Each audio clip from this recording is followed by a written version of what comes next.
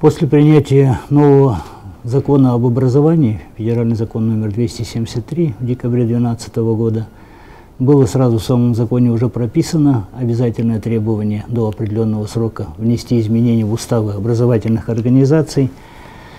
И по этой причине и в устав нашего вуза были внесены соответствующие изменения. Значит, они продиктованы в первую очередь тем, что, допустим, ранее э, все законодательные документы – касающиеся вопросов образования, были включены в порядка 110-111 документов э, различных органи... Э, подразделений, так скажем, федеральных законов, нормативных документов. После принятия закона об образовании, значит, все существующие в области образования документы были соединены воедино в один документ, э, который регламентирует оказание образовательных услуг на территории всей Российской Федерации. Одно из основных первых таких изменений – это изъятие или исключение из названия нашего университета понятия профессионального образования. Теперь мы называемся Федеральное государственное бюджетное образовательное учреждение высшего образования Ижевский государственный технический университет имени Калашникова. Введено третье по настоянию э, руководства значит, университета, введено новое, еще одно сокращенное наименование Ижевский государственный технический университет имени Калашникова, без э, другой аббревиатуры.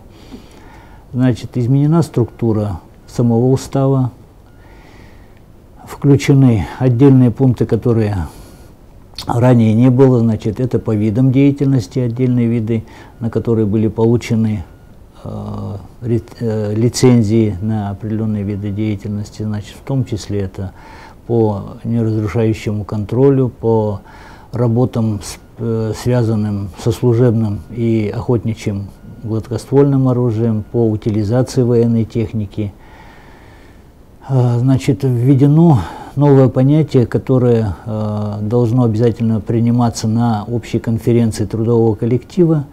Это э, рассмотрение развития университета. Значит, по, касаясь выборов ректоров, значит, осталось прежнее условие, это проведение выборы ректора на конференции трудового коллектива. Ректор избирается сроком до пяти лет. Значит, с ним заключается договор Министерством образования и науки Российской Федерации. И этому предшествует конкурсный отбор аттестационной комиссии Министерства образования и науки. Значит, конкретизированы отдельные моменты, касающиеся оказания образовательных услуг. Это заключение договора на обучение – порядок приема на целевое обучение для предприятий оборонно-промышленного комплекса, расширены права студентов, значит, появилось понятие попечительского совета в университете.